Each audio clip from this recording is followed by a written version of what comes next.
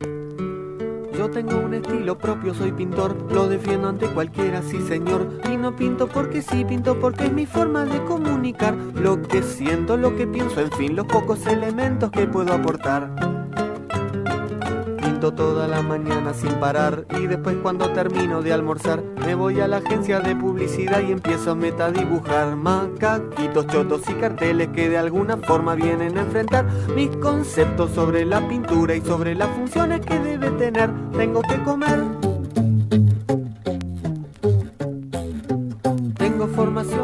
soy actor y me exijo siempre para ser mejor. Me paso estudiando la conducta de la gente, su forma de hablar, porque quiero que el teatro forme sus raíces con la savia popular después de alguna noche de función realizado lleno de satisfacción. Me levanto muerto de hambre y me voy al estudio para preparar una toma en la cual aparezco con una sonrisa para declarar con la cara más imbécil que me salga y que te puedas imaginar tú. Use este champú.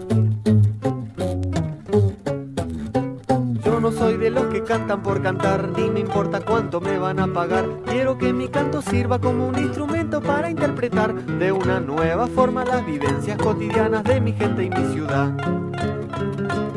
Aunque digan que no soy un escritor ni un poeta, no me importa, soy cantor y en mis letras no persigo la posteridad, sino la claridad. Quiero que toda la gente entienda siempre mis mensajes sin dificultad y no solo las estupideces que en los jingles tengo que vociferar para poder morfar.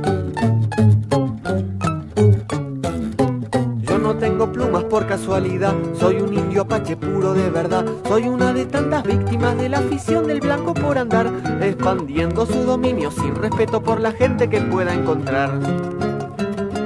Quieren hostigar mi raza hasta el final, ignorando nuestro acervo cultural. Nos persiguen y nos hacen la vida imposible, ya no hay que comer. Y por eso ya firmé un contrato para una película en que voy a ser de indio malo, bruto y asesino de los pobres blancos que andan por allá de casualidad.